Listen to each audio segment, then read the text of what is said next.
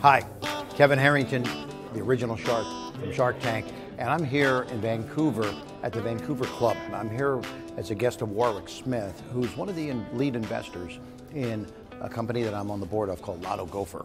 And so Lotto Gopher is basically the Uber of lottery tickets. Think about it this way. Over the years, you know, Uber has digitized with a mobile app, both the taxi industry and Airbnb did this to hotels. But people still wait in line two hours to get that Mega Millions lottery ticket, and they can only pay with cash.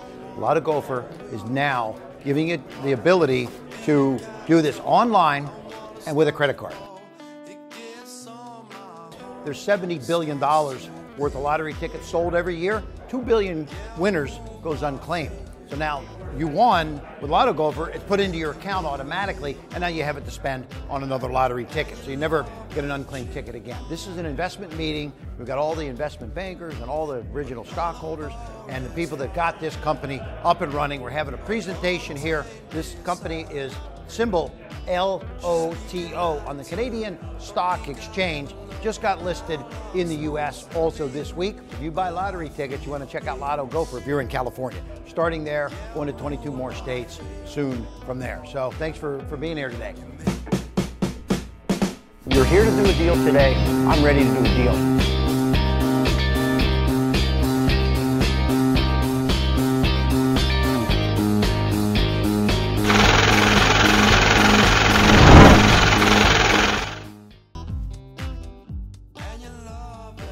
sometimes you have to listen to your kids. Yeah, my, yeah. My, my, my, business partner, his um, teenage son went to him, and, and, this is a few years back. It says, "Dad, Dad, you got to buy Skechers." What's Skechers, right? Yeah. Right. Not Skechers. Yeah. No, thing's trading at three-ish dollars or something like that. Whoa! It's like to stop. Son saw it. This is the next hot. This is before they had the lawsuit, though, right? yeah. And then, so you got to get out of that one at the right time. The, the Jenners did a deal, and they were they were making claims on their shoes about losing weight or something. Yeah. I forget what it was. With, right? with Skechers brand. Yeah. Oh, and so that's what that's what the cause of it going all down. Yeah. Interesting. Wow. Yeah. Just trying to stay on top of my business today.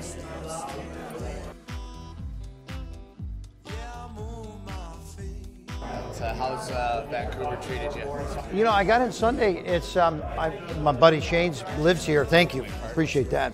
Um, I don't have any cards, but um, um, I love this, this downtown. It's so cool. Like the restaurants. We ate at um, oh, I forget the name, Nightingales last night. That you ever been there? Nightingales. It's a great spot. Love that. The whole waterfront, the walking around. The, the, yeah. Yeah, I, I just last night I kind of walked around after dinner and, and checked things out. It's it's just a great city and the weather's nice. You know, it gets a little chilly here though. Yeah, but that's that's good. You know, it's nice. I grew up in Ohio. We had we had the weather change.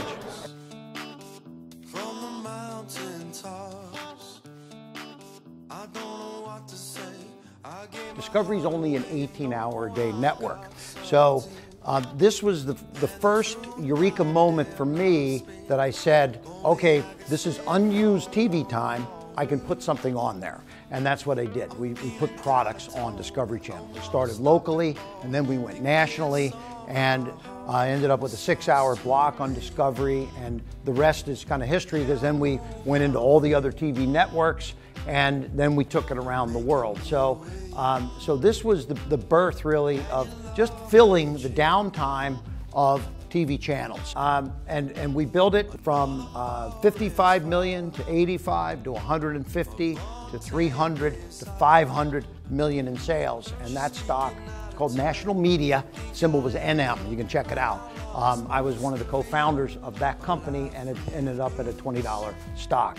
The problem with my normal old school business was every product or business had a kind of a bell-shaped curve to it because we'd crank it, have big success, and then it would end up dying. And, and if we could, you know, try to get some assets out of it, we, we would try the best. But oftentimes these things would end up having a bell-shaped curve effect. So um, I said to myself, I want to be involved with businesses that have continuity, that have you know long-standing capabilities to continue to grow like like this. In my business now, in 32 years of selling products direct to the consumer, I had one focus, and the focus was acquiring customers at a price like this where the value of the customer, the sales would be higher, obviously. So, so I, I think that's what I've seen in beta. Lotto Gopher has some tests that have shown me that the cost to acquire can be a lot less than the lifetime value. And so, believe it or not, um, I think the lifetime value of an annual customer a Lotto Gopher is about $248. Lifetime value, which is pretty powerful. It's been a great run for me. I've spent um, now 30 plus years in this as seen on TV space and Shark Tank and all of that. But um, I, I, have a kind of a new phase of, of, my life that I'm involved with. And there's a, a, an old motivational guy in the US. I don't know if he's recognized his name up here, but his name is Zig Ziglar. And he passed away three years ago. And Zig had a saying that you can get everything you want in life if you help everybody else get what they want. And so that's sort of like my, my new phase the last number of years and going forward is I, I don't, I'm not a CEO of any companies anymore. I, I like to mentor and coach and be on advisory boards and board of directors. And, and this way, I can just help other companies do what they need to do. And if there's an upside for me in the process, that, that helps. Obviously, I love that and still motivated to, to build a solid company here, certainly with Lotto Gopher. But I also, like, I'm on the board of uh, the University of Tampa uh, Entrepreneur Program, and they have control of the Collegiate Entrepreneurs Organization. It's called CEO. And CEO is collegiate entrepreneurs, and they have 272 campuses that they're located on with college entrepreneurs across the U.S. So I am the brand and, and, and, and advisory member to all 272 colleges on a nonprofit basis. And I, you know, it's based in Tampa where I live, so it's my way of giving back to the community, back to the entrepreneurs, back to the young entrepreneurs. And sometimes, by the way, these college kids end up wanting to get involved in something that I'm involved with. So I'm excited to be here, to be part of the team, and, um, and just, you know, hey, thanks for everybody showing up today and, uh, and having a little fun with us today. So thank you. All right.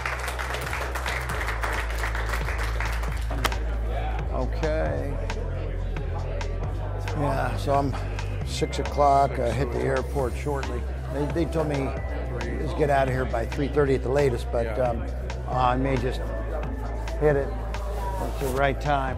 Yeah, you don't want to. Uh, you're starting to get a little bit into a little bit into traffic work hour now. Oh, really? Not, yeah. Not too bad, but yeah, it's okay. I like to change and get out of you yeah. know like getting into some casual clothes. Yeah, totally. And, you know all that kind of stuff. So um, I'm doing a podcast this afternoon at 5. So um, I'll get to the airport, get through security, and be able to do that um, once I get over there. Got it. Um, it's um, always.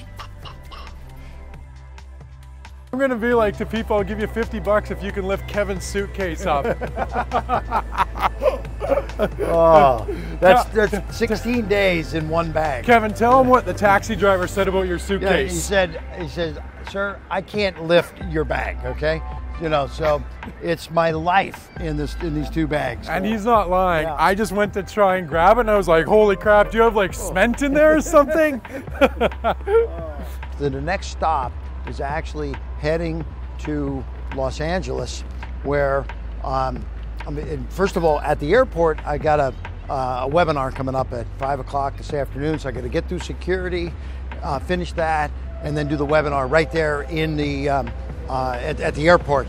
Then fly to LA, and I've got a, an, an, event, probably about 600 people in Los Angeles um, at a at a big um, real estate uh, kind of conference there, and um, and then I fly to Nashville and that's at the one of the state parks in Nashville, Tennessee.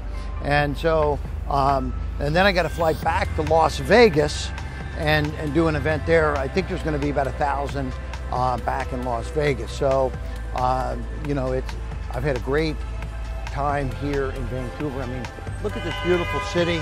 It's so amazing.